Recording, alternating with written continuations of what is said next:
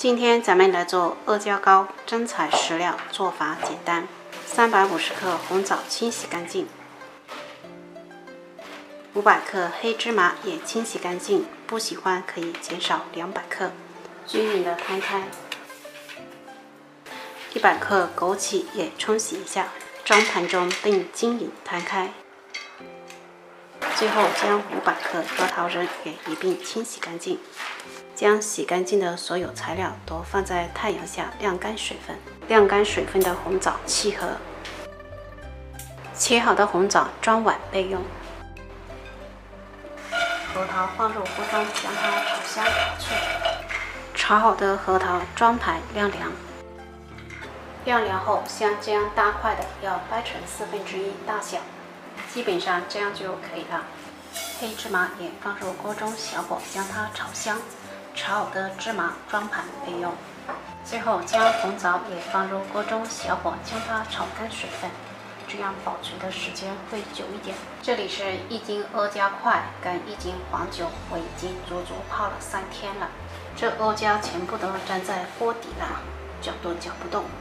没关系，我们放在明火上，小火将它慢熬一会，熬至不粘锅底了，我们转到不粘锅中。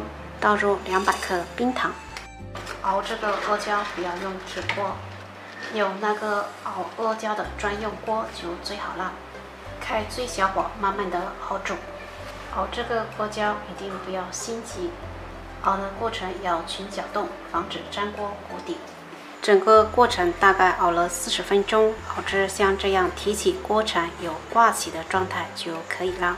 先倒入核桃，快速翻拌均匀。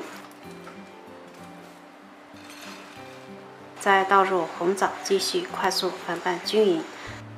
最后倒入黑芝麻跟枸杞，快速翻拌均匀。拌以后，迅速倒入提前垫有油脂的模具中，稍晾一会，再借助油纸和手套将它整理平整，这样不会太粘手。放一旁室温下静置四小时以上定型。定型后就可以拿出来切块了。咱们的阿胶糕就做好了，自己在家做，材料真实、干净、卫生，无添加。喜欢的朋友可以在家试一下。